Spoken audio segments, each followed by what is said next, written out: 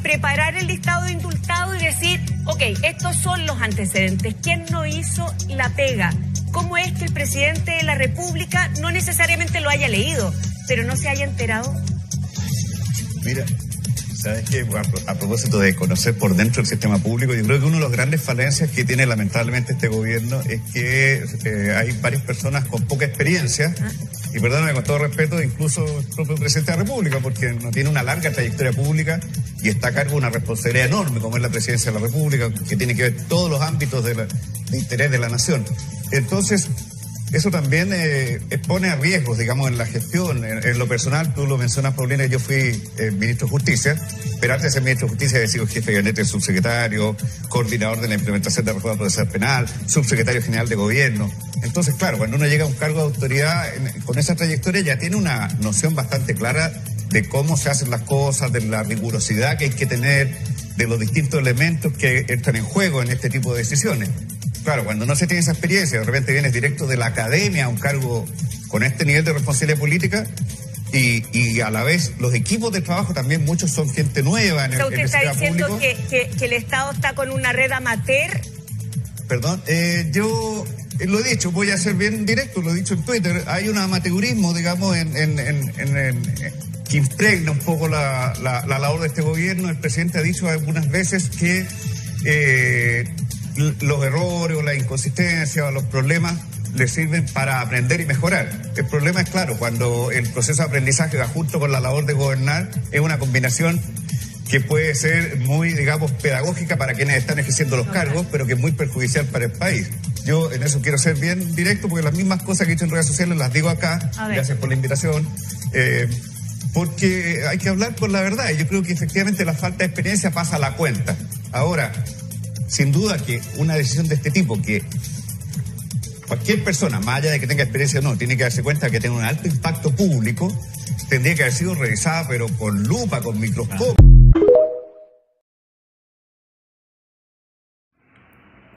Lo que dice Carlos Maldonado es del todo cierto.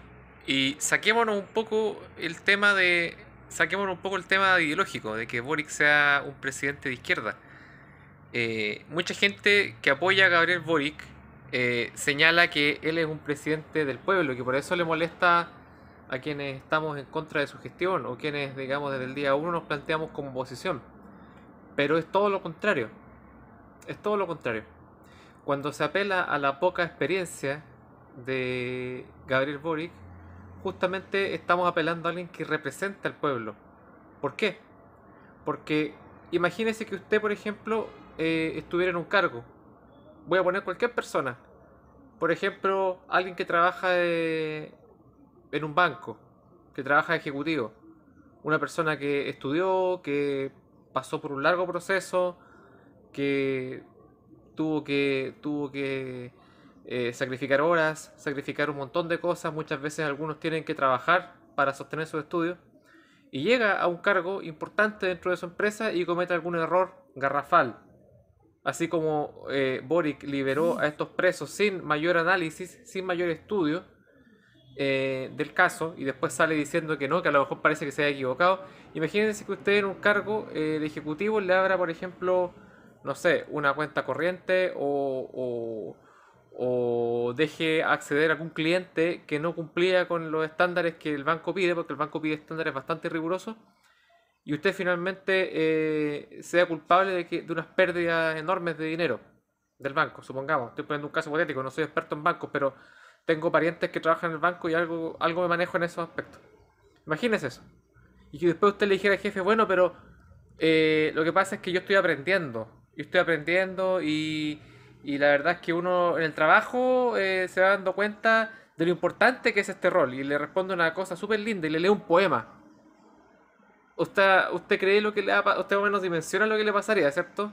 Que yo creo que tres cuadras sería poco lo que terminaría volando de la patada en el traste que le daría el, el gerente, el jefe.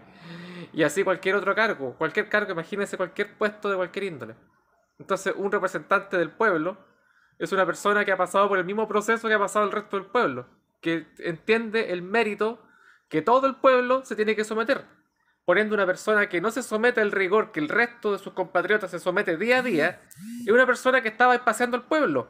O sea, una persona que está saltando el torniquete, siendo bastante, digamos, metafórico y además aludiendo a que el señor que está sentado en la moneda justamente saltó el torniquete, saltándose esa barrera, ese torniquete de la sociedad.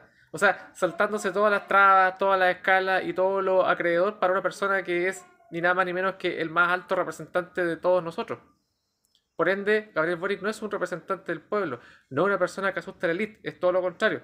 Es la demostración que un tipo con buenos contactos y un tipo que tiene que viene usufructuando de los de los cargos políticos, de los partidos políticos, y tiene una familia política, una familia involucrada en la concertación y en todos estos parásitos que tienen tomado el Estado durante décadas, eso es lo que te demuestra el hecho de que Boric haya llegado al poder. Una persona que está totalmente enquistada en la casta política y que solamente teniendo buenos contactos y siendo un mafioso en la universidad y, teniendo amigos tractores y amigos de un montón de gente, puede llegar al poder. O sea, es la demostración de cómo ponerle el pie encima al pueblo. Este mensaje se lo envío y se lo dedico a todos los arbolitos llorones y estúpidos que deambulan por redes sociales. Boric es la antítesis del pueblo, es lo antipueblo, es el presidente más antipueblo que hemos tenido en toda la historia. Eso. Espero que estén muy bien y nos vemos en un próximo capítulo de Pensando la Nación. Muy buenas tardes.